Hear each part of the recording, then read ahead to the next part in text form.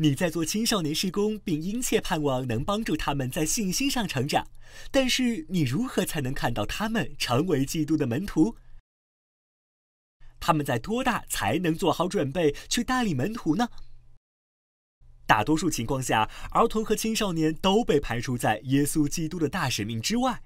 但事实是，所有十一岁的孩子都能顺服基督带领门徒的命令。他能帮助他的弟弟理解上帝的话语，他能帮助他同学做作业，带领他来到耶稣面前。他们可以和朋友一起玩，让他们更接近上帝。基督说要带领门徒，无关乎资格，也没有先决条件。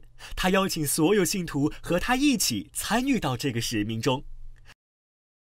带领门徒是一个过程，不是一个课程。这关乎与上帝和他人建立深入的关系，不仅仅是知识而已。而且，这个带领门徒的过程背后还有一个秘密：我们通过帮助他人成长而成长。帮助我们周围的人成长，是每一个信徒灵命成熟的秘诀。不管你是十一岁还是一百一十一岁。